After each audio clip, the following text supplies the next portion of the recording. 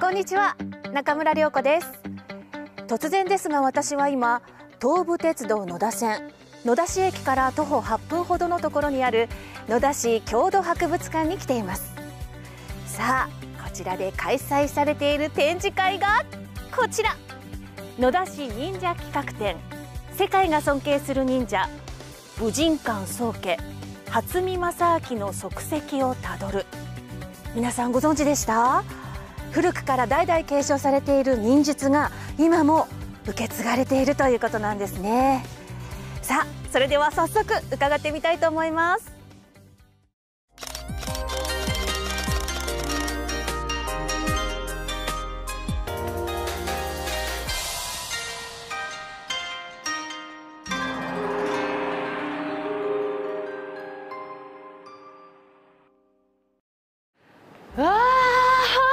きなり鎧登場ですよ。すごいかっこいい。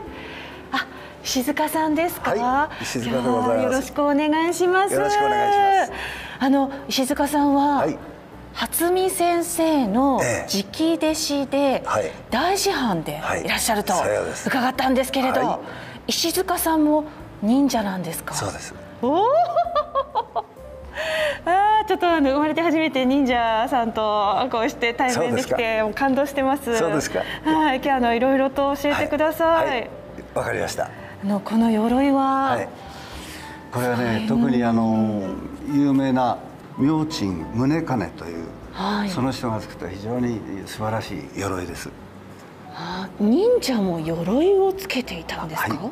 つけてましたよはあ、またあの武士の鎧と忍者の鎧っていうのはどういうところがこう違いが、一回り細いですね。細い？ええ動きやすいようにね。やっぱりこうまたちょっとこうね動きやすい俊敏性がねある忍者ならではの、えその機能性にあふれた鎧ってことなんですかね。はい。あ石塚さん、はい。こちらの写真の方がもしかして？はい私の師匠で初見先生ですね。初見正明先生、はいそうです。初見先生ってどんな方なんですか？あえーね、ちょうどここにね、はい。あのーまあ、歴史というかあー年表になってますんでね、えー昭和6年生まれですね。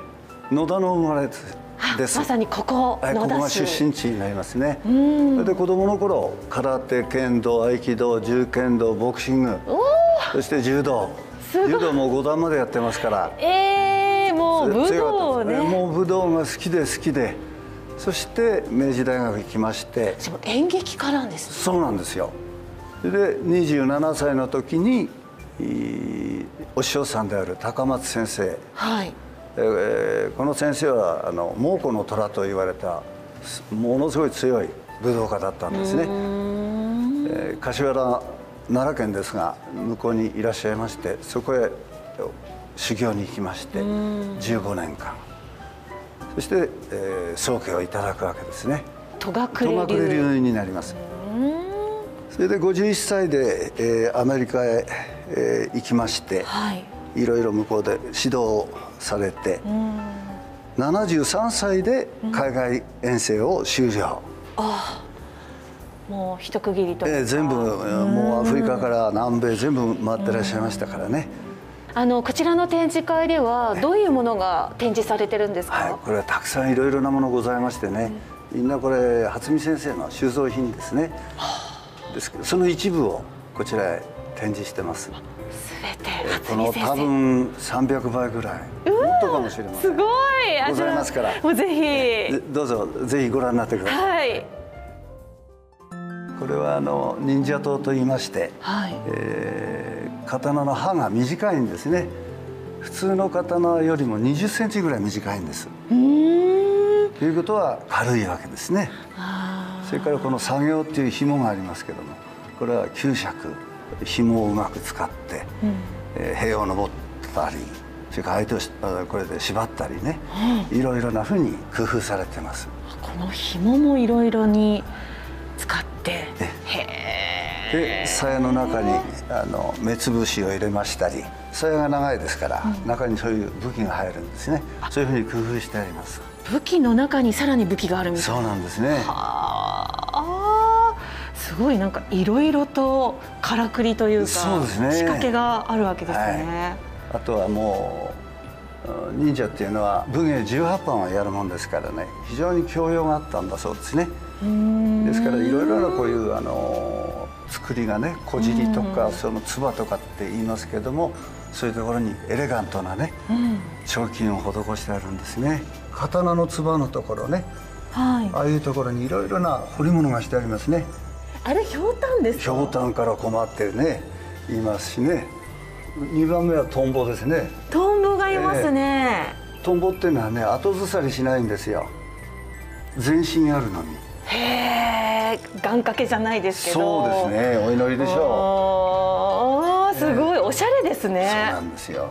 こんなになんかこう芸術としての、えー、こう美術品のような、えー、そんなこうデザインされてるっていうのは結構意外でした。ねはあこれはなかなかあまり知られてないんじゃないですか？そうでしょうね。こうイメージとしてね。大体、えー、ね忍者ってのは人殺しの集団というふうにそう、ね、テレビ漫画では。そうですね、こうスパイスパイじゃないですけどこうねちょっと冷徹な感じのイメージがありますけど、ね、違うんですよね。違うんだ。粋なんですよ。はあ、ね、これもまたすごいですね。これ何ですか？ロープ？これはねあのいろいろな作り方があるんですが、はい、女性の髪の毛ね。それを編みましてね。髪？ねこれがまた丈夫なんです。えこれ本物ですか？そうです。白髪が入ってるでしょ？本当だ。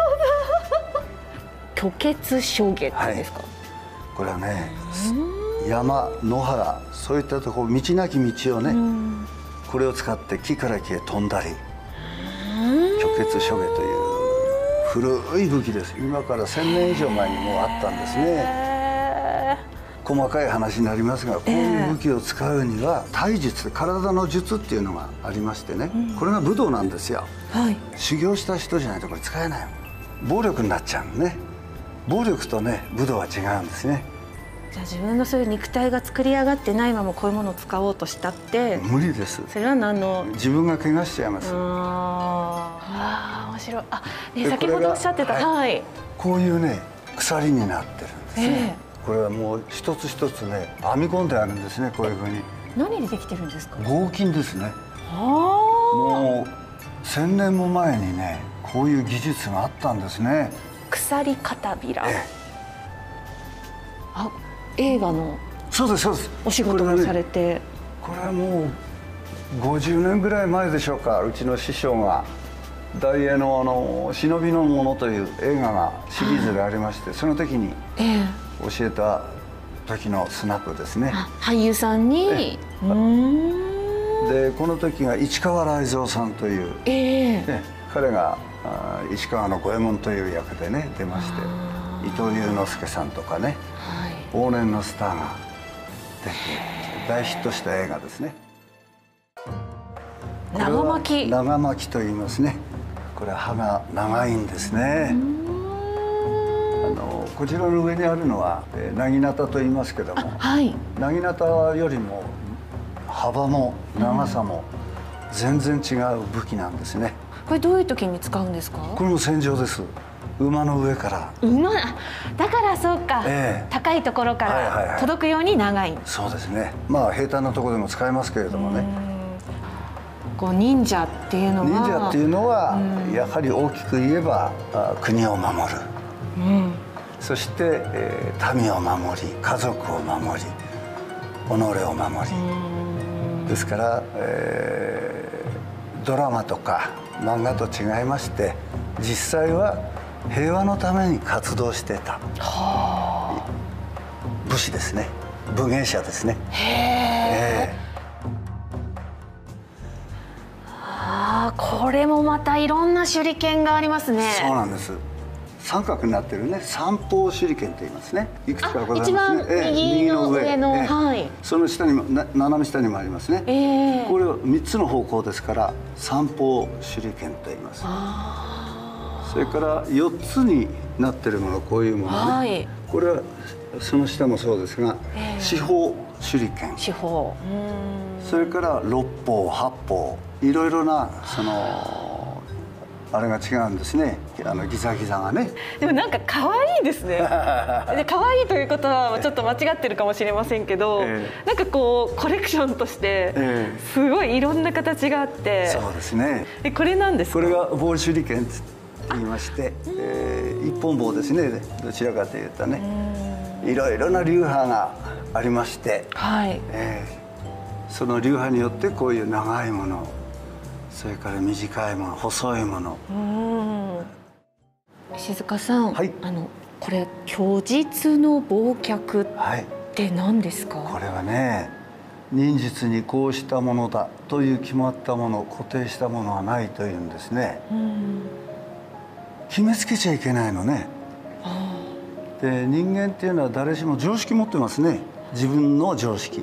でも世の中そうじゃない場合ありますね、はい、固定観念は時とすれば、まあ、自分を殺すこともあるわけですよ。あ誤ってしまう道誤ってしまうという。えー、だから常に冷静にね物事を判断して。だから虚であるか実であるかっていうのは結果論であって虚が正しい場合もある。実が正しい場合もある。どっちとも言えない。だからそういう一つにね固定しちゃいけませんよ。でも確かに今まで見てきた、えー、その忍者の武器たちからしてもちょっとそういうつながってきますね。そうですね。まさかあの筒の中に鎖が入ってるとか思わない、ね、思わないことをやる、それが今日。そういうふうにして、えー、戦でね生き残ると。命長らえるというのがこの忍者のね根本的な考え方なんですよ。深いですね、えー、何回も言いますけど戦いとか、うん、それはなるべく避ける、うん、お互いに怪我するし、うん、お互いに家族が泣くんだから、平和に平和に、そのためにはご真実が必要でしょとこういうことですな。今を生きる自分たちにもね、えーえー、つながってきますね本当に。そうなの。